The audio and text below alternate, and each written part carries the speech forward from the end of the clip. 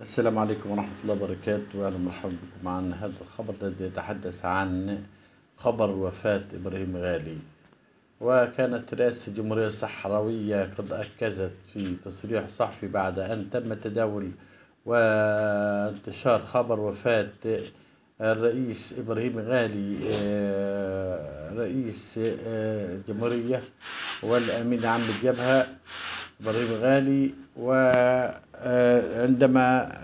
انتشرت الأخبار بشكل كبير قامت رئاسة في الجمهورية الصحراوية بنشر بيان يؤكد أن صحة الرئيس بخير و و ولا تدعو للقلق وأضاف البيان وتنهي رئاسة الجمهورية إلى علم كافة المواطنات والمواطنين. أن الحالة الصحية للأخ الرئيس لا تدعو للقلق وأنه يتمثل الشفاء والحمد لله.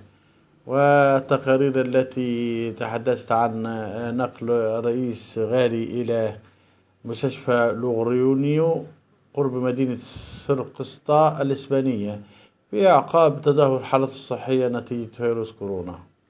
ولم يتم توضيح الخبر والبيان الذي نشر قبل قليل عن تفاصيل نقل إبراهيم غالي إلى إسبانيا للعلاج ولكن شددت على عدم صحة ما يشاع من تدهور حالته الصحية.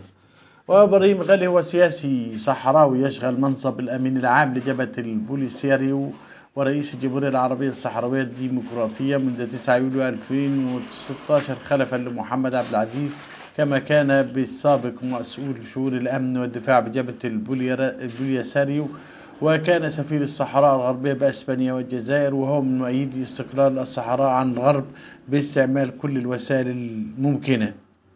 يعتبر إبراهيم غالي أحد المطلوبين لدى المحكمة المختصة في جرائم التعذيب والاغتصاب والاعتقال القسري والخطف بأسبانيا وذلك بعد صدور مذكرة اعتقال دولية من قبل القضاء الأسباني في حقه ووجه المستشارون القانونيون للمنظمة الحقوقية الدولية مذكرات عاجلة إلى مختلف الهيئات القضائية والدوائر السياسية العليا.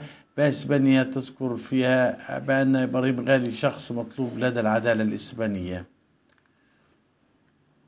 هو من 1973 حتى 1974 في منصب الأمين العام جبهة البوليساريو.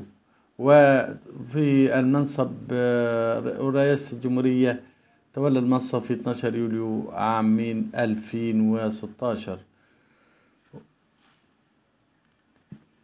وكل الأخبار الرسمية أكدت أنه ما زال بصحة جيدة وبخير رئيس الجمهورية العربية الصحراوية الديمقراطية. شكرا لكم.